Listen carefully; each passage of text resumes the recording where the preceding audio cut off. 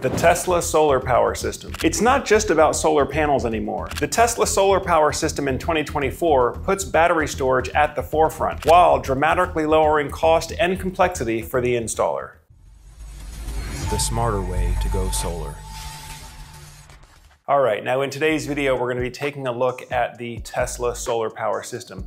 And there's a lot of conversation going on on the internet right now about why the Tesla solar system based around the new Tesla Powerwall 3 battery is the most advanced and best solar architecture available today. So let's talk about the battery first and what makes the battery so unique. First of all, it's unique that storage is now part of the solar equation by default. You know, when I got started in solar about 10 years ago, it was less than 10% of solar systems included battery storage and typically it was only for emergency backup purposes. But now, because of what a number of utilities are doing in moving away from true one-for-one -one net metering programs, it's more profitable now for homeowners to install their own battery storage. That way they can power their home directly during daylight hours off of the solar panels.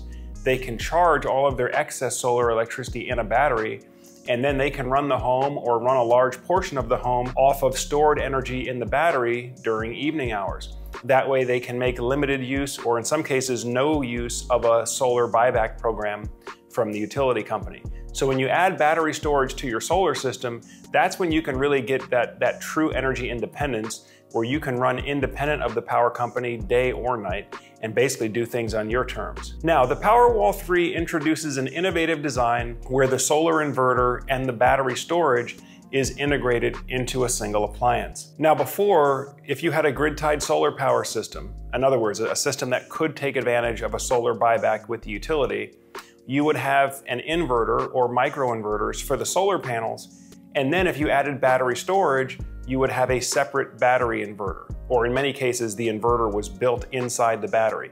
Like the Tesla Powerwall 2, for example, had a battery integrated inverter. But the Tesla Powerwall 2's inverter was only made accessible to the battery itself, to the battery cells. It wasn't made accessible to the direct solar input. And that's what's changed with Powerwall 3 is now you can take direct DC high voltage output from the solar array and connect it and couple it to the battery. Now, there's a number of advantages to that architecture. Number one is it's just more efficient. Whenever you can keep the electricity in native DC format, for example, direct current coming off of solar panels to use to charge direct current battery cells, that's gonna be a much more efficient DC to DC battery charging than if the power has to flow through an inverter before it hits the battery. Uh, by the way, if you haven't seen our previous video on most efficient solar batteries, we talk about the concept of conversion losses when electricity is converted from direct current to alternating current and then back to direct current to charge AC coupled batteries. So if you haven't seen that previous video, go back and watch that previous video where we talk about this issue in more detail. Now, the other advantage with the integrated inverter battery design is it lowers cost and it lowers the, the risk of installation error. In other words, there, there are less component interconnections for the installer to have to make, and then you're running conduits between the different components, and you have to hook up individual wires and conductors. You know, every connection point is a potential point of failure, or it's a potential where the installer could make a mistake. So by factory integrating the inverter and the battery, it cleans up a lot of that, lowers the risk. Uh, of course, it also lowers the install time which translates into more profitable installations. and by the way, that's the feedback that we're receiving from the solar installers that we've talked to that are offering Tesla Powerwall 3 is that now they finally have a profitable solar with battery storage installation, where frankly, much of the industry was struggling with some of the first and second generation batteries to be able to do those installations as profitably as they had been able to do solar panels only in the past. Now, the next big innovation with the new Tesla solar power system is the, the, Tesla backup switch or the, the Tesla meter adapter. And what Tesla's done with their backup switch is essentially they've, they've built a, a whole home transfer switch into a meter collar where it basically just fits in back of and around your electric meter, allowing for whole home backup without the installer having to do really any modification of the home's internal wiring. Again, that was another issue that plagued installers is that they got some of their most skilled technicians bogged down in rewiring circuits or moving circuits around within the house doing these solar and battery installs where now Tesla has it to where all you do is pop the meter collar on outside. That has a communication to the Powerwall 3 battery to tell it whether to work in grid interactive mode or in backup mode only, and allows the home to be disconnected from the power grid when the Powerwall 3 is operating in backup mode. Um, it also makes for a much leaner, cleaner installation. Uh, since that meter socket adapter fits right onto your electric meter base where it is now, that's one less extra piece of equipment that you have to have installed on the wall, whereas traditionally you would have to have a transfer switch or a gateway, which was another box that would have to be mounted here and then conduits run back and forth.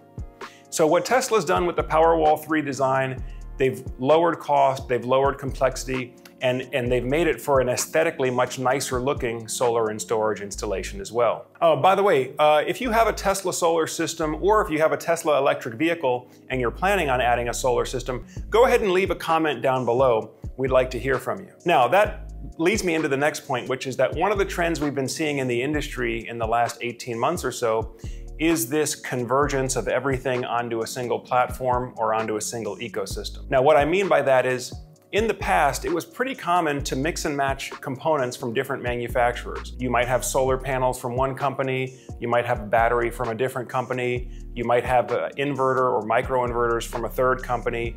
And, and then the installer's job was to put all that together and to build an integrated system. But what we've seen is that approach, although it might seem good on paper to be able to use best of breed products in each area, it led to an inconsistency of user experience.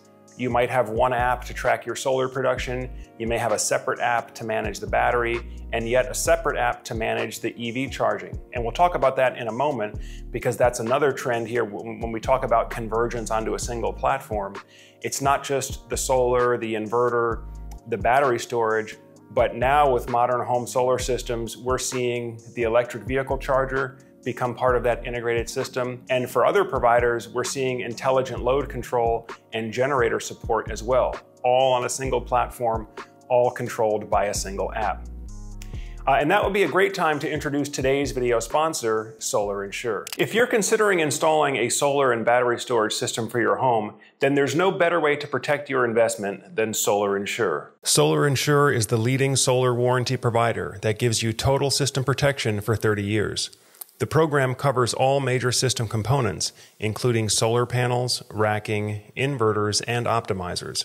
Roof penetrations are also guaranteed for 30 years.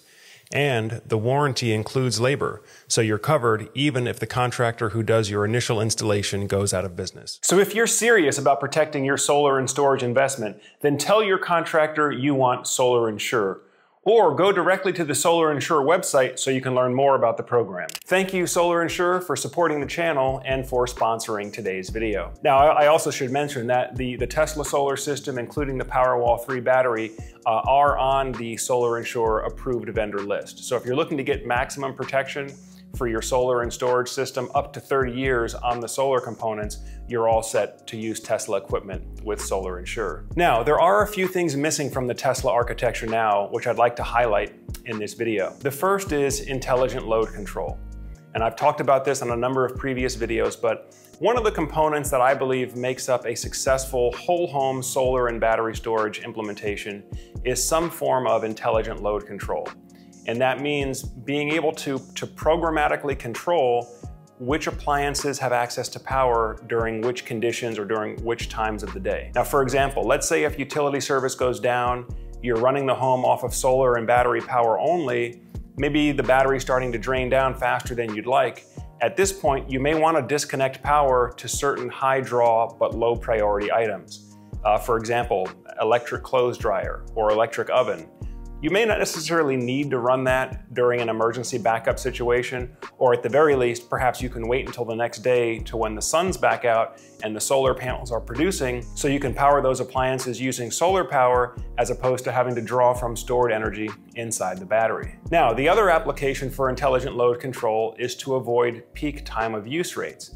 Now, for those of you watching in California and Arizona, you understand that during certain hours of the day, the utility charges you a much higher rate per kilowatt hour than at other parts of the day. And typically this is gonna be in the late afternoon, early evening, when people are getting home from work, the air conditioner is working hardest because it's the hottest part of the day. Maybe they're starting to turn on their electric ovens and cook dinner. Well, those are peak rate hours where if you can draw that energy from the battery, as opposed to pulling it from the utility, it can help save you a lot on your electric bill. Now, of course, another thing that's missing is module level monitoring, right? Now, we've gone away from module level power electronics with the new Powerwall 3 architecture. In other words, we don't have optimizers or microinverters on each solar panel, so we can no longer track each individual solar panel on the app.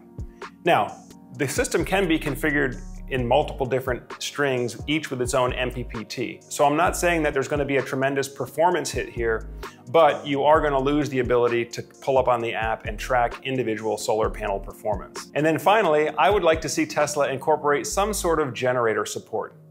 You know, for those of you who are looking at solar and battery storage to protect you from a true worst case scenario grid down situation, I think having a fuel burning generator as a backup to your battery just makes sense. That way, if the grid's down and maybe you hit a patch of inclement weather where the solar panels just aren't producing that much, well, at least you have the option to fire up a fuel burning generator, run that generator full for a few hours, bring your batteries back full, and then you can go back to running off of just your solar and battery system. So this has been a walkthrough of the Tesla solar power system in 2024. As always, if you're getting good value from these videos you watch on Solar Surge, make sure you give us a thumbs up uh, and go ahead and subscribe to the channel as well if you haven't done so already. That way, as we have new videos like this coming out, it'll come up on your feed and you can stay up to date with us. Uh, of course, if you're a homeowner out there, if you're looking at different solar and battery storage options for your home, if you need to get a quote for the Tesla Powerwall 3 system or, or any of the other leading solar systems, as always, you can feel free to reach out to us on the link below there, set up a call with a solar expert, uh, or just use the free online quote tool so you can see how much solar and batteries cost in your area. Well, that pretty much does it for today's video. I thank you all for spending some more time on the Solar Surge channel. And as always, I'm Joe Ordia here, encouraging you to get prepared and be empowered. Thanks for watching, and I'll see you again soon.